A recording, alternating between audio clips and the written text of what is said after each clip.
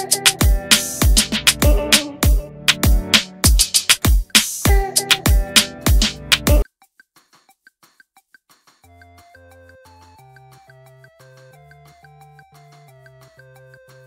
รางเขินม้วนอบนิธิจีบแบบไม่จีบ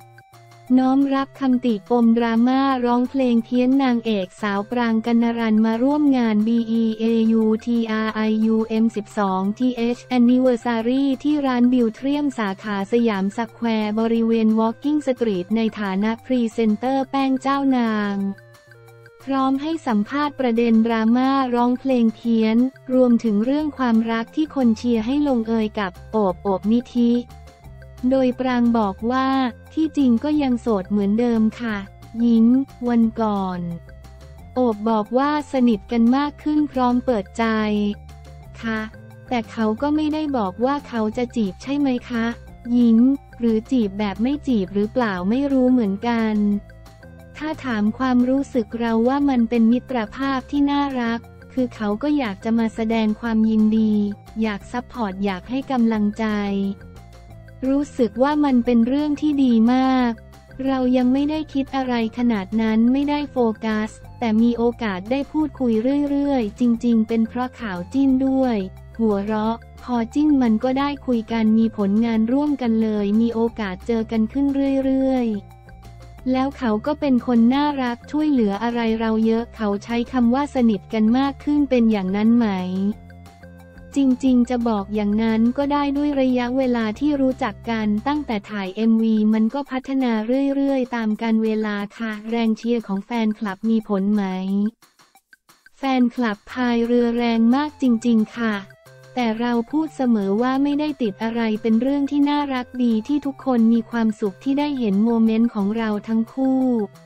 แต่สุดท้ายแล้วความจริงเป็นยังไง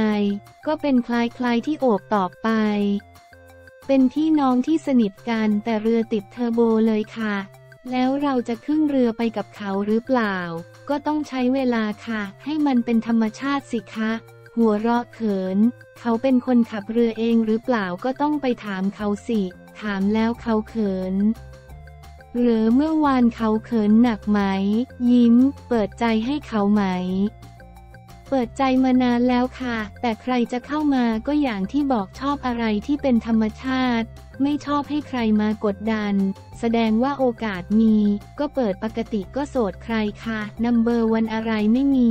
ยิ้ม เมื่อวานก็ถามคำถามนี้นะคะ แอบดูสัมภาษณ์ทำการบ้านเหรอ ก็อยากรู้ไงว่าเขาตอบว่าอะไร ยิ้ม คุยกันเรื่องที่โดนจิ้นบ้างไหม เอาจริงๆ เริ่มแรกคุยกันเรื่องจิ้นแต่พอหลังๆเขาให้คำปรึกษาเราเยอะมาก เรื่องการเป็นศิลปินเรื่องอุปกรณ์เขาเก่งกว่าเรา เขาก็อยากให้กำลังใจแหละไม่มีอะไร หัวเราะ ลูกโป่งปริศนาที่เขาให้มาถามล่ะ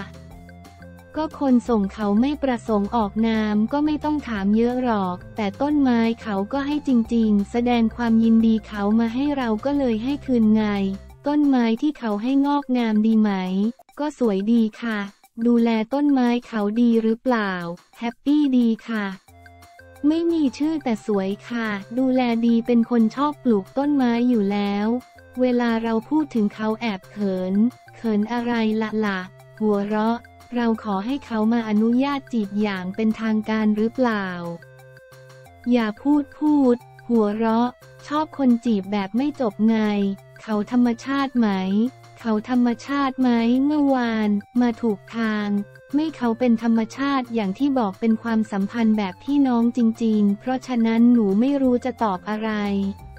เพราะมันเป็นตามที่เขาบอกจริง ๆ เป็นพี่น้องที่สนิทกันให้กำลังใจช่วยเหลือกัน ชื่นใจคนเชียร์หนูก็ดีใจเวลาคน happy ที่เห็น moment เป็นเรื่องน่ารัก ถ้าไม่ดราม่าอะไรหนูก็ดีใจหมดค่ะ สรุปลูกโป่งนั้นเป็นของเราจริง ๆ ไหม ไม่บอก ยิ้ม จะเปลี่ยนสถานะคำว่าพี่น้องขึ้นมาอีก step ไหม โห อย่าไปตั้งใจตอบอะไรเลยดีกว่าอย่างที่บอกจริง ๆ ทุกวันนี้เป็นมิตรภาพที่ดีมาก อยากจะ happy ในทุกๆวันดีกว่า โดยที่ไม่ต้องคาดหวังอะไรโตแล้วด้วยค่ะ ขอถามเรื่องประเด็นร้องเพลงมีดราม่าเลดี้ปรางโดนดราม่ายังไม่หยุดเลยค่ะ ก็ติดตามอยู่แล้ว มันเป็นในส่วนของการทำงานด้วยจริง ๆ ทางทีมทางค่ายรับรู้หมด แต่ทุกคนก็เข้าใจในเรื่องที่เกิดขึ้น การดราม่ามีเกิดขึ้นได้เสมอ แต่สุดท้ายสิ่งที่หนูไม่อยากให้เกิดขึ้น หนูไม่ชอบให้คนทะเลาะกันไม่ว่าใครจะติชมหนูหรือให้กำลังใจหนูน้อมรับเสมอไม่ว่าจะเป็นการเล่นละครหรือการเป็นศิลปิน แต่ว่าสุดท้ายแล้วต้องเห็นคนมานั่งทะเลาะกัน นั่นคือเขาเครียดกับสิ่งที่ทำแล้ว จริงๆ หนูร้องเพลง เพราะหนูอยากให้คนมีความสุข ก็เลยพยายามคิดว่าเดี๋ยวทุกอย่างก็คงจะดีขึ้นเอง แล้วก็ทุกๆอย่างจะผ่านไปหนูผ่านดราม่ามาเยอะมาก แล้วเดี๋ยวมันก็ผ่านไปเอง แต่ที่สำคัญหนูอยากบอกให้ทุกคนมีความสุขในสิ่งที่ตัวเองทำคนที่อยากให้กำลังใจหนูแล้วมีความสุข ขอบคุณมาก ๆ เลยค่ะ ส่วนคนที่ให้ข้อติชมก็ขอบคุณมาก ๆ เช่นเดียวกัน สุดท้ายแล้วหนูก็จะมีความสุขกับการได้ทำสิ่งที่ตัวเองชอบมาก ๆ แล้วมีคนอีกหลายคนมากเลยค่ะ ที่อยู่เบื้องหลังหนู กว่าหนูจะมาเป็นวันนี้มันไม่ง่าย หนูอยากจะให้กำลังใจเขาด้วยเขายังสนับสนุนอยู่ เราฉะนั้นหนูก็จะขอมีความสุขกับสิ่งที่หนูทำต่อไปคำวิจารณ์ทำให้เราเสียเซลล์ไหม เอาจริงๆนะคะ เป็นเรื่องที่ไม่ได้ชินชากับมัน แต่ว่าก็เรียนรู้ที่จะรับมือกับมันมากกว่า เพราะหนูก็ไม่อยากเป็นคนที่ต้องมานั่งเครียดกับเรื่องพวกนี้ แล้วสุดท้ายกลายเป็นว่าเราไม่มีความสุขกับการทำงาน เพราะสิ่งนี้เป็นสิ่งที่หนูมีความสุขที่สุดในชีวิต หลายคนกังวลว่าเราจะหยุดจริง ๆ เรื่องร้องเพลง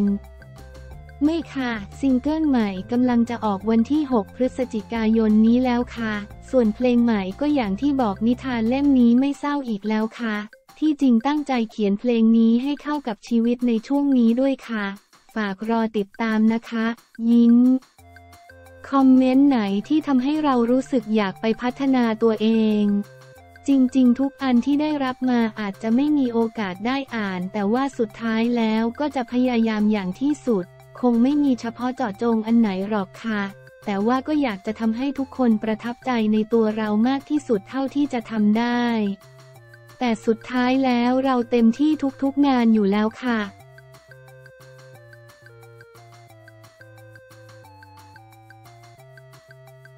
พัสรินซัดสอสอปูอาจไม่มีสำนึกทำร้ายจิตใจเหยื่อซ้ำลั่นต้องลาออกจากพักนับเป็นวาระสำคัญของพักก้าวไกล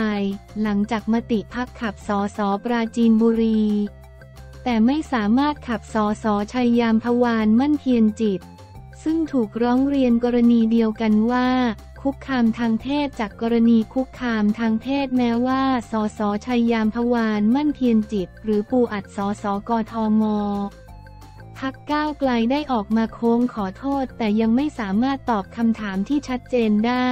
และไม่ลาออกจากสอสอพักทำให้นายชัยธวัฒน์ตุลาธนหัวหน้าพักก้าวไกลออกมาโพสต์ถึงการถแถลงของสอสอปูอัดว่าไร้สำนึกยอมรับผิดไม่ขอโทษอย่างจริงใจก่อความเสียหายซ้ำ เตรียมเรียกประชุมด่วนกรรมการบริหารพักก้าวไกล สอขับพ้นพักอ่านชัยธวัฒน์ฟาดแรงสอสอปูอัดไร้สำนึกไม่จริงใจ เรียกถกกกบหอด่วนสอไล่พ้นพักล่าสุดการพัสรินรำวงสอสอเขตบางซื่อดุสิตพักก้าวไกลได้ออกมาโพสต์ว่าจากการถแถลงของปูอัดนายชัยยามพวาน แสดงให้เห็นถึงความไม่มีสำนึกและไร้ความเข้าใจต่อความรุนแรงและความละเอียดอ่อนของการล่วงละเมิดทางเพศที่ตนเองเป็นผู้กระทำ ยิ่งไปกว่านั้นยังไม่แสดงความรับผิดชอบต่อผลของการกระทำตัวเอง ยืนกรานไม่ยอมลาออก ยิ่งไปกว่านั้นยังพยายามเข้าหาประชาชน เบี่ยงความสนใจแต่กลับไม่กล่าวถึงความผิดของตนเอง นำสิ่งของที่เหยื่อเคยให้มาใช้แถลงออกสื่อทำร้ายจิตใจเหยื่อซ้ำสอง เป็นหนึ่งในการผลิตซ้ำอคติของการคุกคามทางเพศและการลอยนวลพ้นผิด ซึ่งเป็นสิ่งที่ไม่สามารถยอมรับได้เด็ดขาด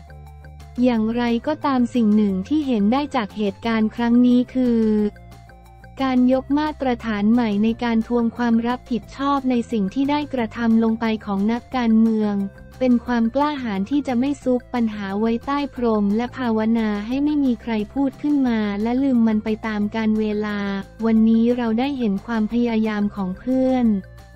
สอสอประชาชนรวมถึงเหยื่อในการทวงความรับผิดชอบและยืนยันความถูกต้อง การยืนยันว่าชัยยามพวานต้องลาออกเพื่อแสดงความรับผิดชอบอย่างน้อยที่สุด และต้องขอโทษเหยื่ออย่างเป็นทางการ ไม่เลี่ยงบาลีหรือปัดเป็นเรื่องอื่น พร้อมติดแฮชแท็กเครื่องหมายสี่เหลี่ยมปูอัดต้องลาออก